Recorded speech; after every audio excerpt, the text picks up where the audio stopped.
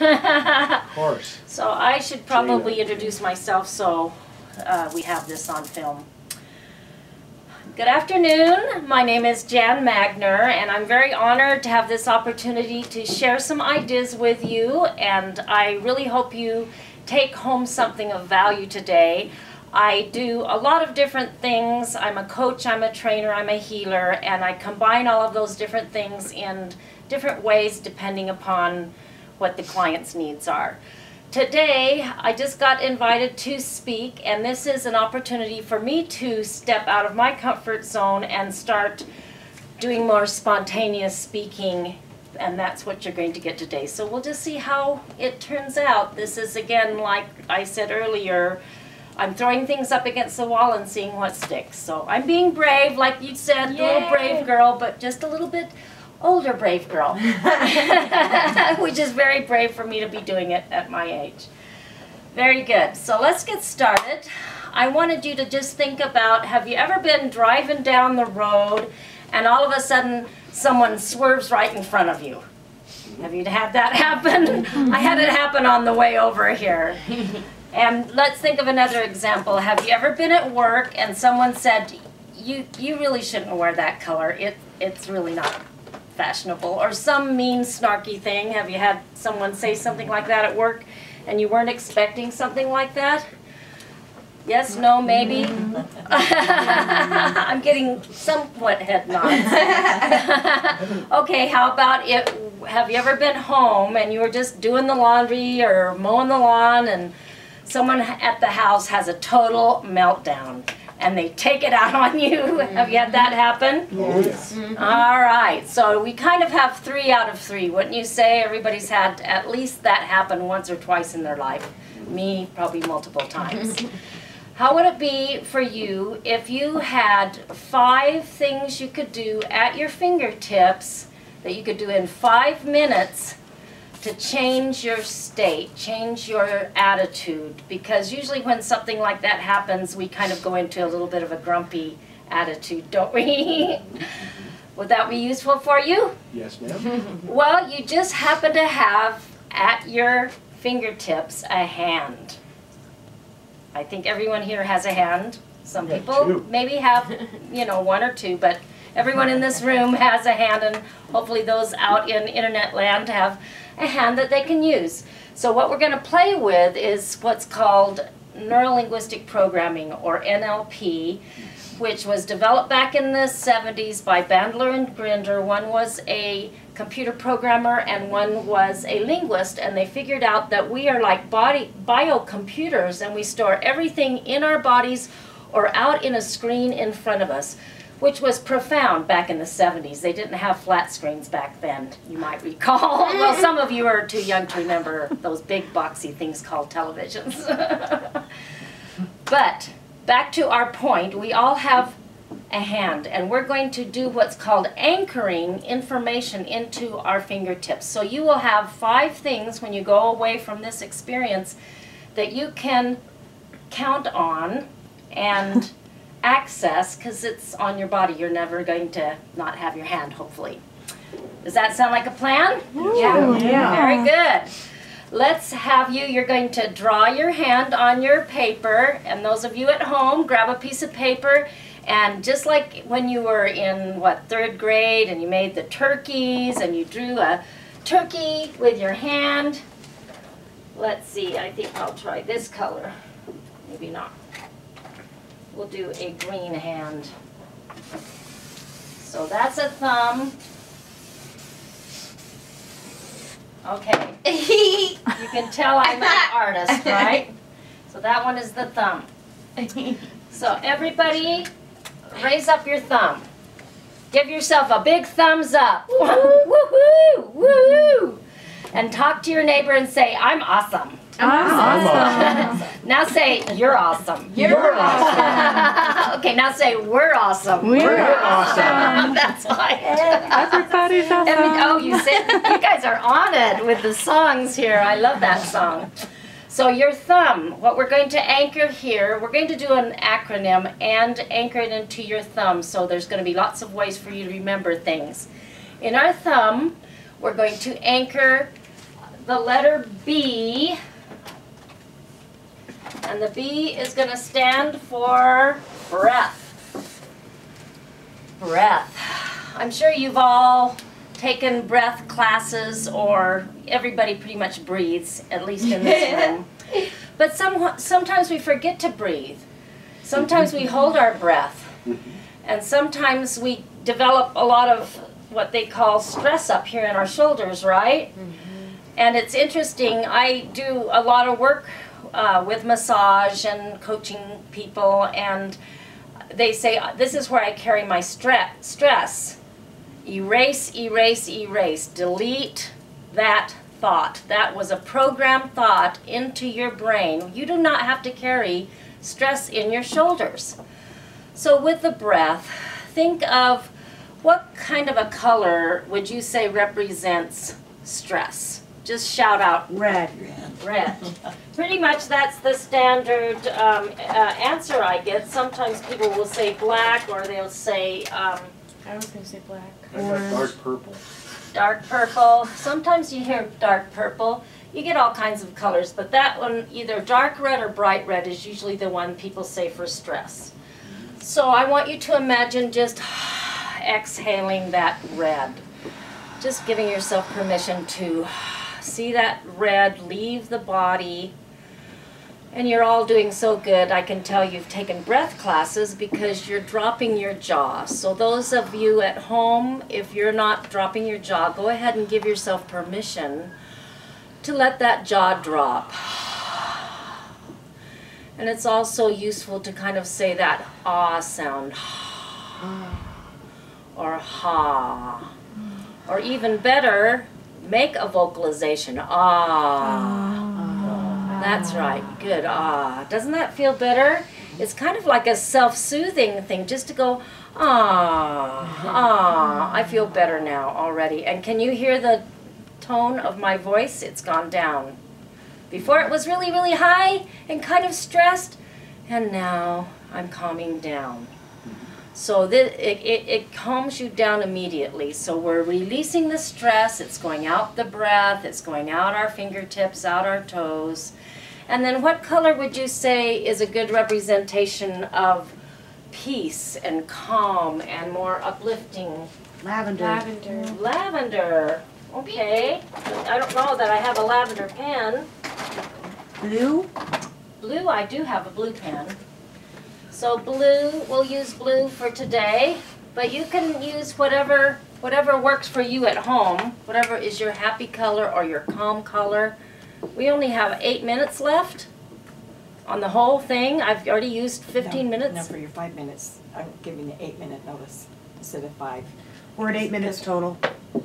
That all I've done is speak for eight minutes? Okay, so I just want my, when I, when I've spoke for fifteen minutes and then just give me five. Okay. All right, that was a technical difficulty. Very good. So let's just practice that a minute. Just breathe in the beautiful blue or lavender and exhale the red. And breathe in the beautiful blue or whatever happy color. Sometimes it's yellow. And let go of the red or the black or sometimes it's brown. You do your own representation, but these are what we're using for an example. Let's do one more. Breathe in. And relax the jaw. And let go. How do you feel? A little bit better? You look more mm-hmm. calm. Now you don't get to fall asleep though, okay? Mm-hmm. I don't want you that calm. Mm-hmm. so our number one is The breath. breath. Breath. Good job. Look, see you've already anchored in the in there. You guys are doing great. All right, the next one is also going to have a B, but this one is going to stand for body language. Ah, body language when your thing falls down. so body language. Why do you think that's important? Body language. Pam, you've been through a Yeah, lot when you slouch, you feel down. You don't breathe. Right. It, So it anchors, it, it brings up depression or insecurity or lack of self worth. Right. So you've seen teenagers, they kind of look down at the floor and have their hands in their pockets, and all they need to do is sit up straight, get their shoulders back, put their head up a little bit, and this a- actually starts to create endorphins in your body. And then it's al- always useful to what? Smile. We know that that makes more endorphins in our body. So imagine just smiling and sitting up straight or standing up straight. It gives more oxygen in, down into your belly. It helps you move more confidently, feel more confident.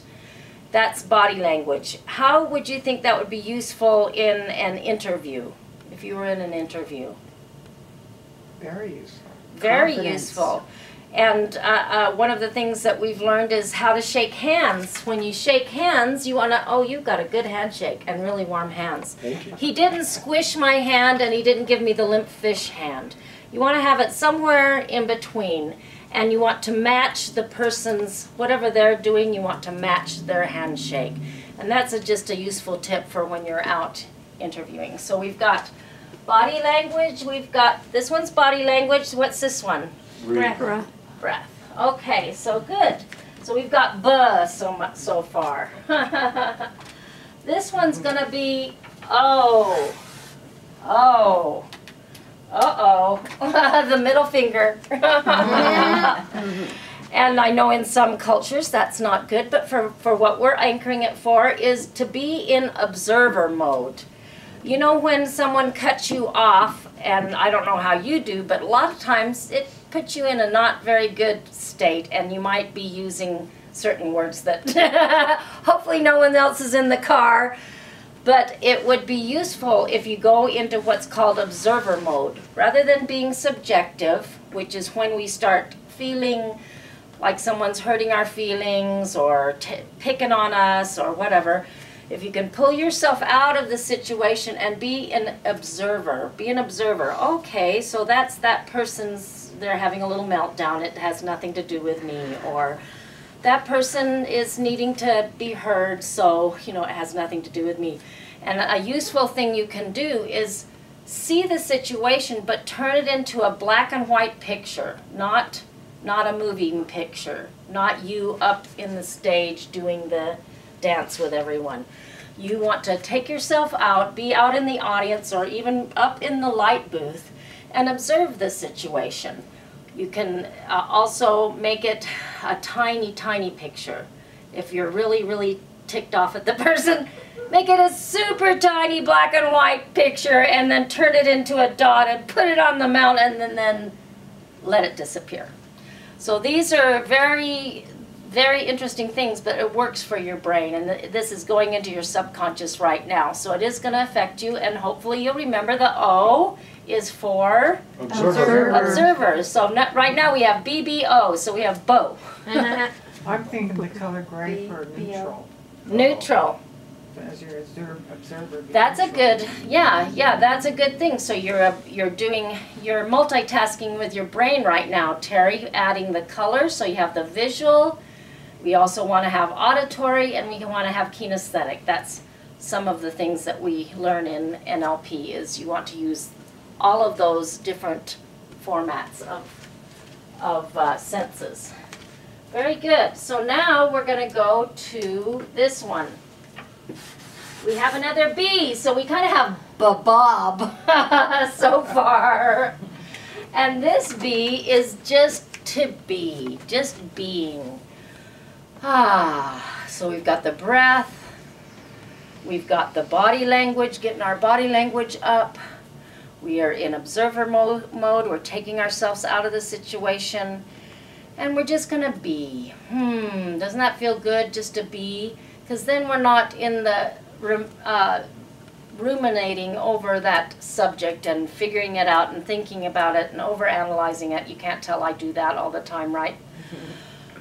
We're just going to be right here, right now, enjoying our breath, enjoying our uh, our company with one of one another, and our beautiful smiles and your beautiful bright eyes. You guys are awesome, by the way. Awesome, thank you. so just being.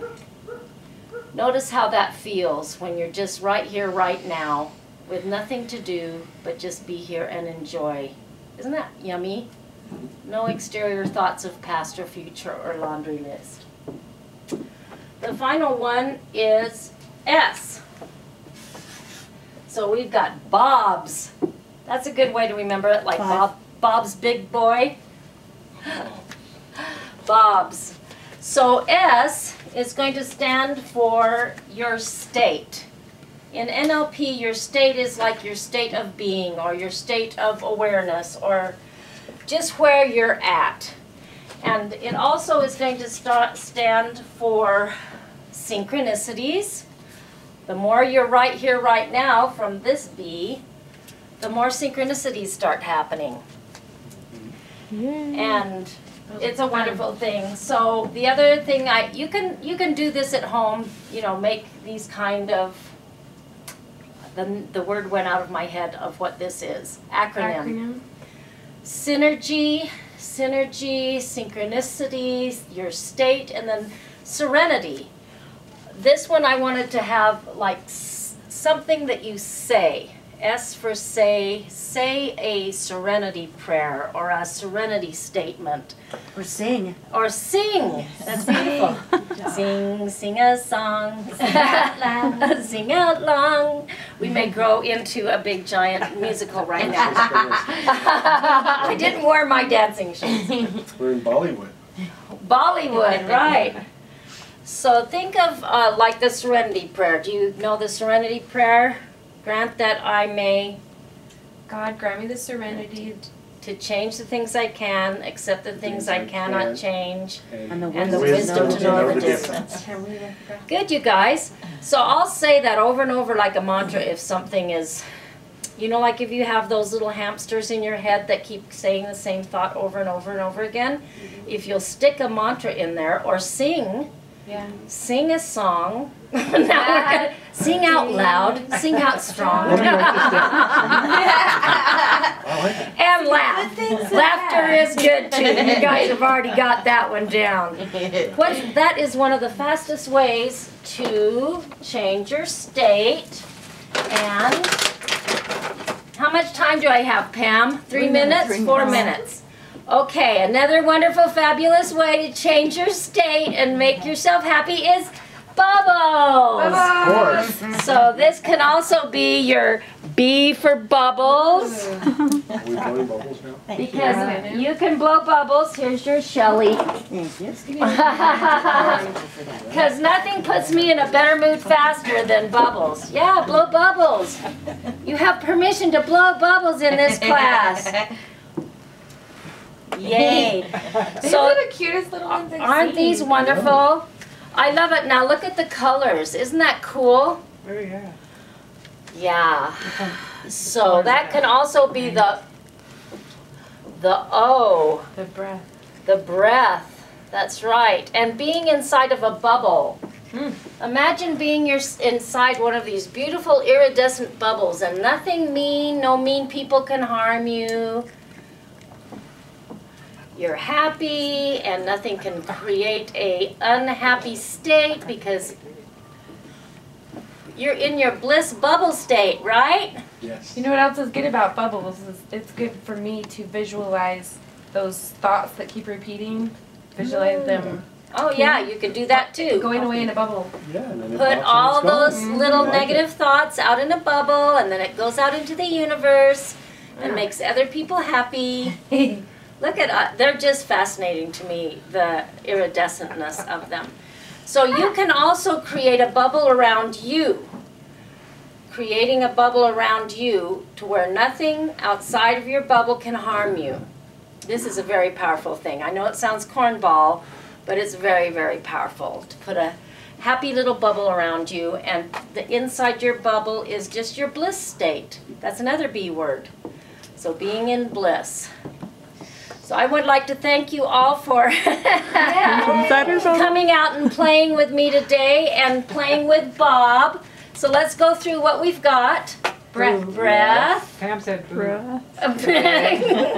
What's the other B? Body language. Okay. Observation mode or being an B. observer. Another B. Just B. be. B. Be in your bliss state. And S, be saying something that is going to change your state, an affirmation, a positive affirmation, or a serenity state. And just make sure you stay in your happy bubble all day. Thank you out there in internet land for joining me today and having fun. I hope you go out and buy yourself some bubbles. Bubbles. Yay! Bye.